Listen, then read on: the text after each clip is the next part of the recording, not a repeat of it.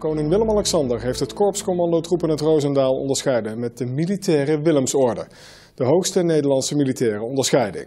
De commando's kregen de Willemsorde voor hun werk in Afghanistan.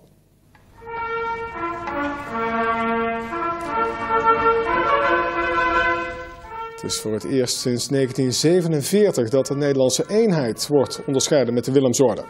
In 2009 en 2014 kregen twee individuele leden van het korps de onderscheiding. Marco Kroon uit Den Bosch, staat hier in het midden, en Gijs Pepijn Tuinman uit Heerlen. Ook dat had te maken met hun inzet in Afghanistan.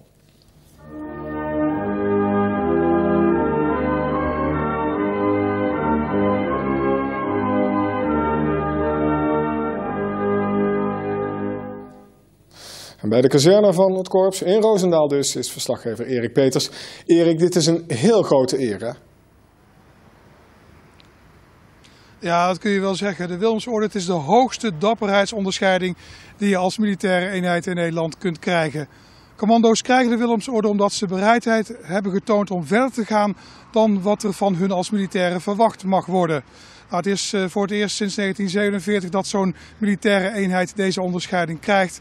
Het gebeurde vanmorgen tijdens een ceremonie op het Binnenhof in Den Haag. We zijn hier bijeen voor een uitzonderlijke gebeurtenis. Vandaag decoreert Zijne Majesteit de Koning het Korps Commandotroepen voor uitstekende daden die getuigen van moed, beleid en trouw. Veel verhalen zijn er niet bekend van wat de commando's allemaal in Afghanistan hebben gedaan. Want wat ze doen is geheim. Maar we weten wel dat ze gevaarlijke missies hebben uitgevoerd. U bent er om de tegenstander uit evenwicht te brengen. Om, vaak diep in vijandelijk gebied, de tegenstander te verrassen. Om inlichtingen te verzamelen die voor de veiligheid van bevolking en coalitietroepen van levensbelang zijn.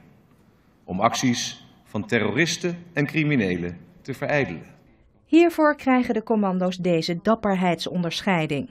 De laatste keer ging die naar een individu, namelijk majoor Gijs Pepijn Tuinman. Maar nu gaat de onderscheiding naar het hele korps. Het spreekt voor zich dat de toekenning van deze bijzondere onderscheiding ook een erkenning is voor het gehele korps. Kortom, een erkenning voor een ieder die bij het korps dient en heeft gediend. Zij hebben het korps gemaakt tot wat het nu is.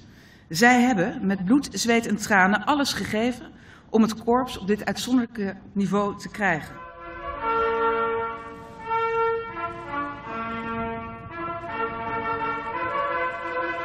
De ceremonie werd afgesloten met een défilé.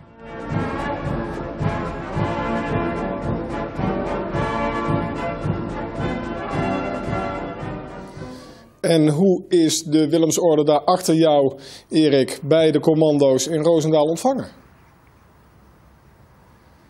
Nou, met gepaste trots zou je kunnen zeggen. Je moet je voorstellen, het Korps Commandotroepen en Roosendaal zijn al sinds 1949 met elkaar verbonden.